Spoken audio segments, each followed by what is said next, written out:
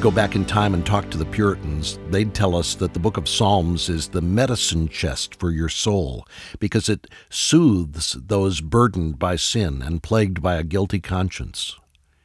But they'd also say there are only two kinds of consciences that feel the weight of sin's remorse. Alistair Begg explains today in a message titled My Hiding Place.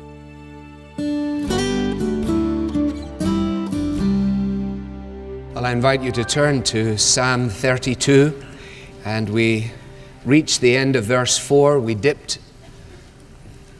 momentarily into verse 5, but uh, not uh, to do it justice, and so we will uh, pick our studies up essentially from there.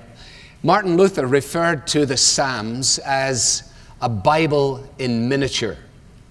We said last time when we introduced Psalm 32 that the Psalms have been rightly referred to by the Puritans as the soul's medicine chest. If we're up on the crest of the wave, there will be songs to sing. If we find ourselves dispirited, then we will find that there are laments that we can employ in order to give voice to our soul's cry. Luther, between 1513 and 1515, uh, wrote his first series of lectures on the Psalms. And I was intrigued to discover that he wrote more on the Psalms than on any other book in the entire Bible, including every New Testament book. Twelve centuries before that, another gentleman who benefited greatly from the Psalms was Augustine. And I was intrigued to learn in my studies this week that apparently this 32nd psalm was the favorite psalm of Augustine. And it's not a surprise when we think of probably his most famous quote being, O God, our hearts are restless until they find their rest in you. Because here in Psalm 32, and particularly as we saw in verses 3 and 4, we have a description of the restlessness of the human heart. Uh, the restlessness of human hearts scarcely needs to be proved. Uh, all we need is uh, this morning's newspaper or a magazine or to sit with someone and reflect upon the passage of time. Uh, the explanations for that restlessness are varied, but as to the restlessness itself, few, if any, would be prepared to disavow such a thing. Some of you will recall that a few months ago we referenced the uncertainty and honesty of the author Jon Krakauer in relationship to this very thing.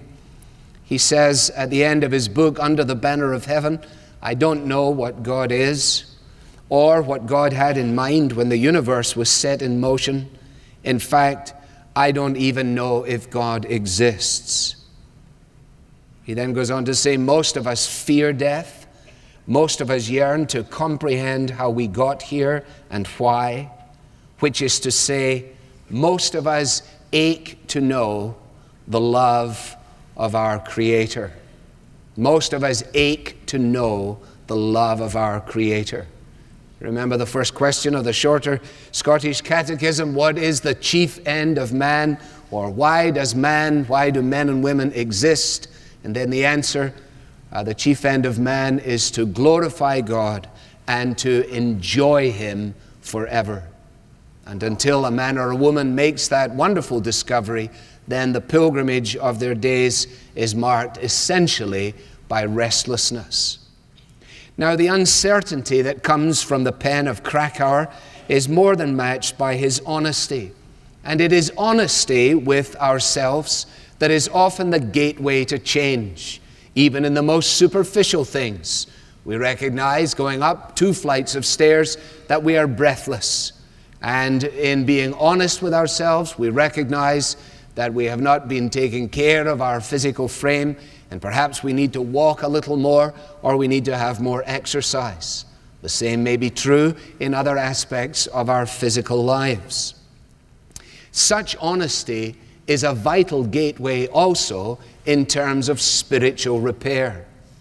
And the psalmist here at the end of verse 1, in addressing the whole issue of happiness, which we said is a very contemporary interest, points out that happiness and deceitfulness or dishonesty do not sleep in the same bed.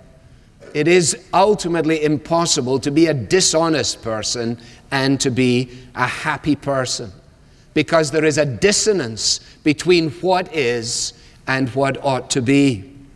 And so the psalmist, having described the happiness that accompanies a relationship with God, a relationship that is grounded in forgiveness, then in verses 3 and 4 speaks of this spirit of heaviness which rested upon him. We're familiar with people who are referred to as being like a wet blanket. When they're around, it's just as though all the clouds and heaviness have descended on us.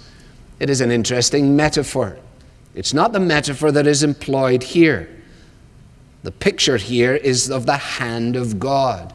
Of course, we know that God is spirit and therefore does not have a hand. Therefore, this is an anthropomorphism. Therefore, the picture is a graphic picture that somehow or another God, the creator of the ends of the earth, has extended himself from heaven and has placed his hand, if you like, on the neck of his servant David. And if happiness is his great desire, which I think it is for humanity, then he now points out that sin is his great dilemma. And indeed, verse 3 speaks to the predicament that prevails in his physical frame as a result of his tortured conscience. When I kept silent, he writes, my bones wasted away through my groaning all day long, for day and night.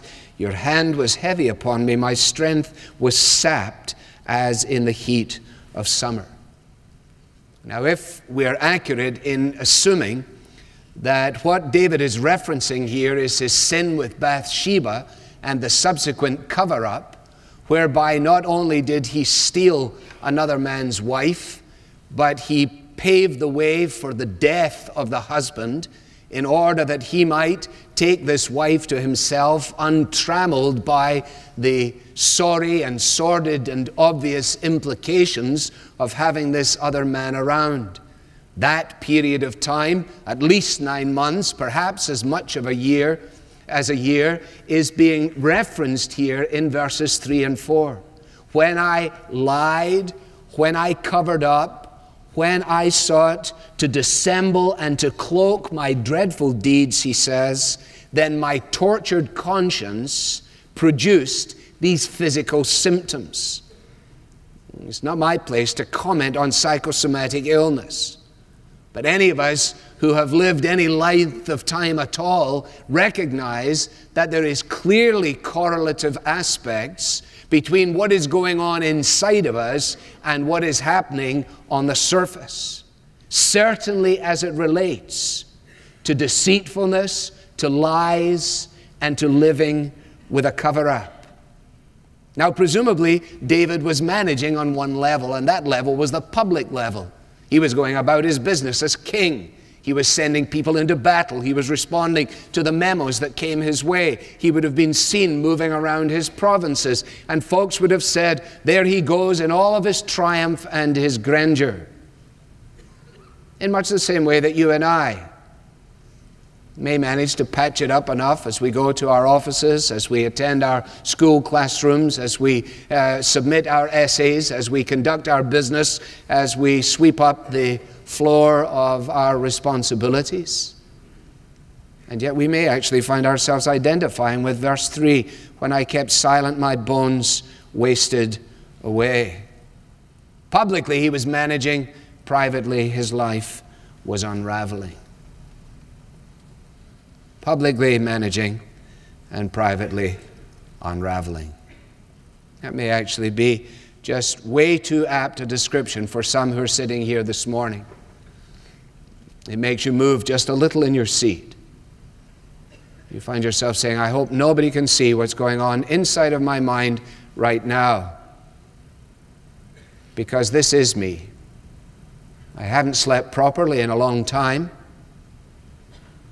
I'm no longer the person I once was.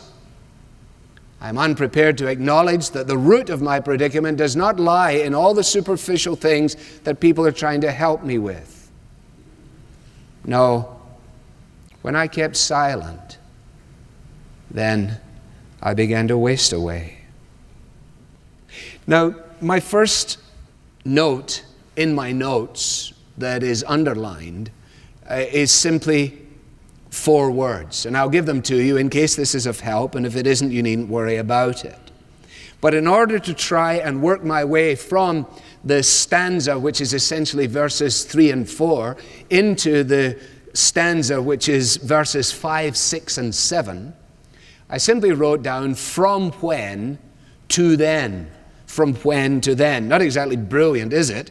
If you look at the text, you will notice that verse 3 begins with when, and you will notice that verse 5 begins with then. When I kept silent, this was what I experienced. Then, he says, I acknowledged my sin to you. Then I did not cover up my iniquity. Then I said, I will confess my transgressions to the Lord. And then you forgave the guilt of my sin. Okay? From when to then.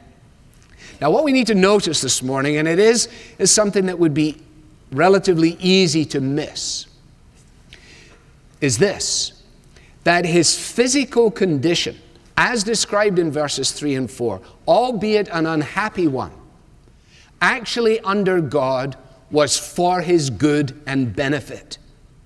God has brought him to the place where looking at himself, if you like, in the mirror, has confronted him with the fact that the real predicament that he faces is not to be found on the surface, but is to be found on the inside. His tortured conscience has wounded him, and the evidence is there for those who know him best to see. There are only two kinds of conscience that will feel the burden of sin. One is a tender conscience, a tender conscience. Most of our children have tender consciences. That's why the first time you come back into the kitchen where there were uh, 10 chocolate chip cookies and now there are only nine, and you said, Where is the cookie? And if they said, I don't know. The tenderness of their conscience will relatively quickly produce repentance.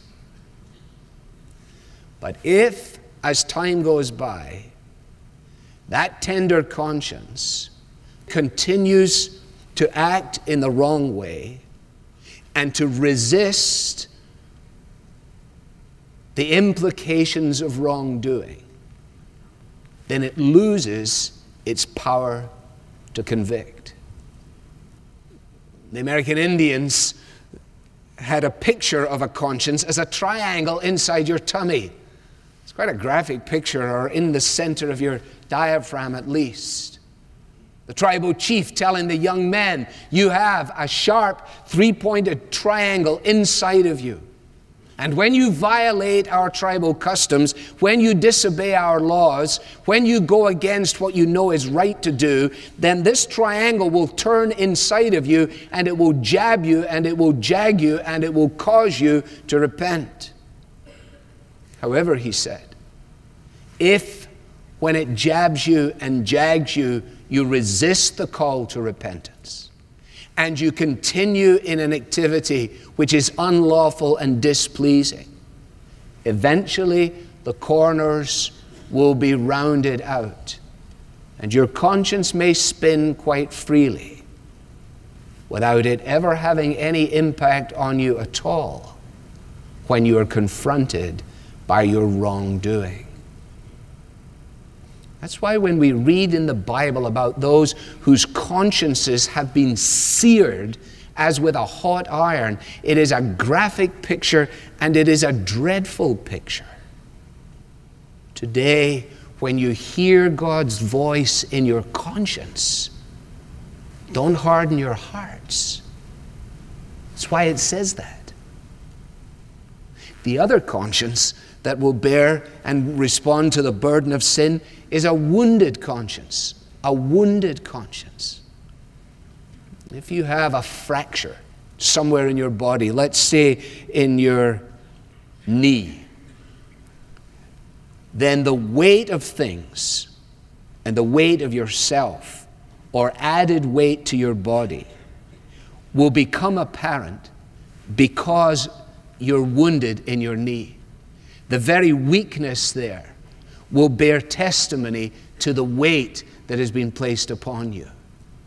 And in the same way, it is a wonderful thing, albeit a hard and difficult thing, when God comes, as he comes to his servant David, and he brings his willful disobedience before him, and he confronts him with his systematic attempts at cover up, and he points out to them, to him, that his very conscience is in danger of being seared and he lays his hand of heaviness upon him, a hand that becomes absolutely unbearable. Psalm 38 and verse 4, another psalm of David in this series, he says, My guilt has overwhelmed me like a burden too heavy to bear.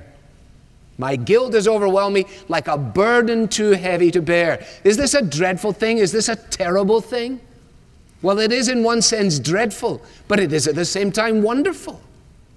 You see, when you or I have a guilty conscience because we know we're in the wrong, having offended against God and offended against one another, all of the external influences upon us will tend to say, cover it up, deny it, run from it, smooth it over just don't address it.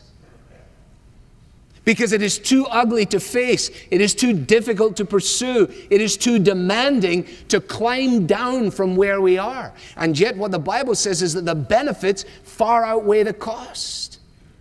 That's why David, upon reflection, is able to say, You know, when I was overwhelmed by these things, when your hand was heavy upon me, then in actual fact, it tended to my good. You see, the Bible constantly asks questions which we just don't ask. It asks, for example, in 1 Samuel 6, a correlative question, and it is this Who can stand in the presence of the Lord, this holy God? Who can stand in the presence of the Lord, this holy God? And state their case. This question actually comes in 1 Samuel 6 after 70 individuals had poked their nose into something that had nothing to do with them at all, and they all died. And the people observing it looked at it and said, If God is that kind of God, who then can stand before this holy God? Which of us is able just to go in and stand before God? You think about Moses. He takes his shoes off his feet in the presence of the burning bush, a symbol of the eternal God. Because he realizes that the ground on which he stands is holy ground.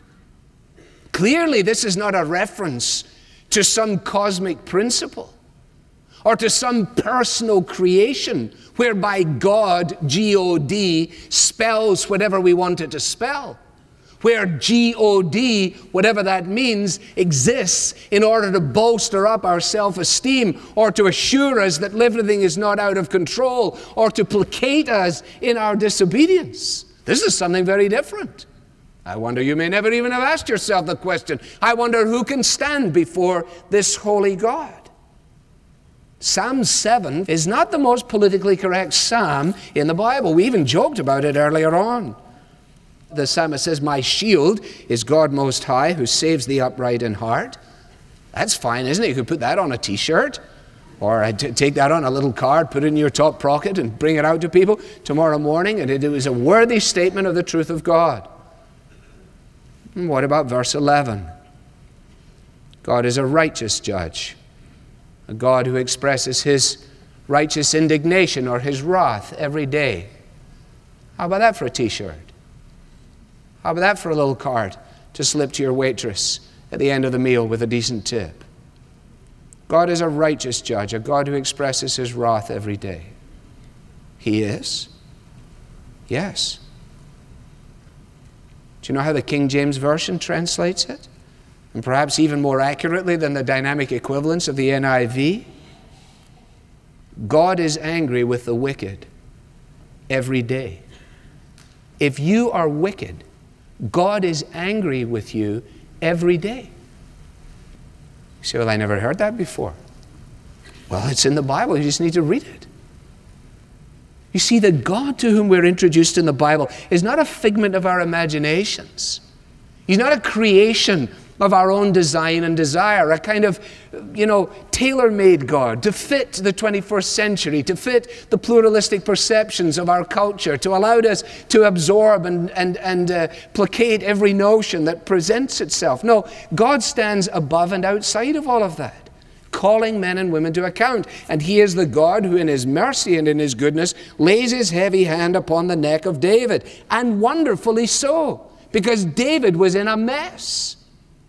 David was an adulterer. David was a sinner. David was a liar. David was a denier. David was at least nine months into his deceit. And when he looked at himself in the mirror, he said, I am finished. I am wasting. My bones cling to me. My skin clings to my bones. I'm like an owl in the ruins. I'm like a desert owl. My friends disabuse me. I am fevered in the day. I'm an insomniac in the night. Why?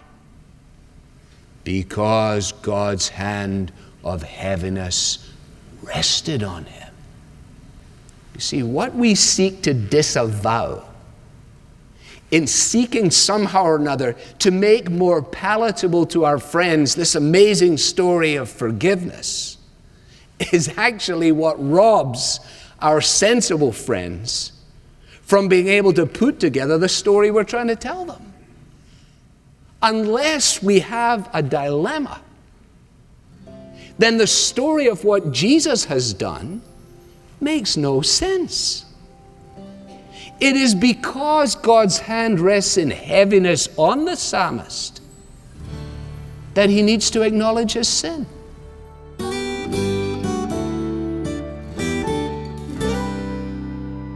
We're listening to part one of a message titled My Hiding Place on Truth for Life with Alistair Begg. Today's message is a powerful reminder that the Bible has the power to heal guilty consciences and to change lives.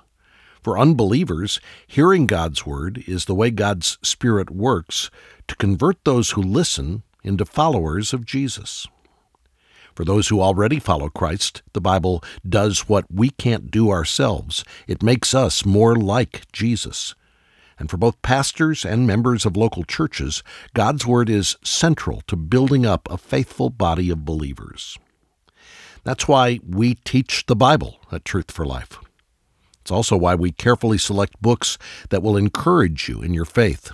We think our current book recommendation will do just that. It's a book titled Heaven on Earth What the Bible Teaches About Life to Come. All of us have questions when it comes to the topic of heaven, and although the Bible doesn't reveal everything we'd like to know, there are some things we can know. Pastor and author Derek Thomas draws directly from God's Word to teach us about life to come, about the promise of a new heaven and a new earth that's free from the curse of sin and death. The book Heaven on Earth offers great comfort and hope, particularly if you or someone you love are dealing with the reality of dying. In fact, when you request your copy of this book, you might want to order a second copy to give to a friend.